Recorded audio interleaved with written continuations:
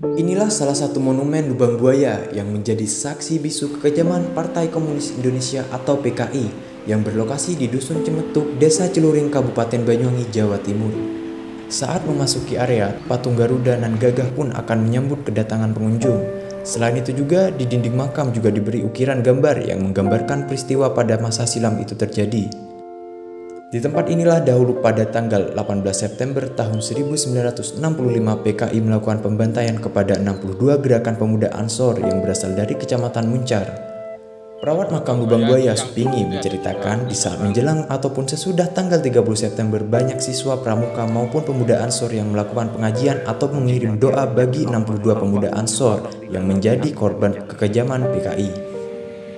Ya tadi ada yang tahlil gitu bahkan tadi pagi itu ada SD Seraten tiga mereka ngapain pak di sini? Ya ya menerangkan sejarah lubang buaya itu. Tapi pak gurunya banyak pelajar juga yang mendatangi makam tersebut guna mempelajari sejarah. Beberapa masyarakat pun juga turut datang untuk berdoa bersama. Novita Kamil, Binet Media mengabarkan.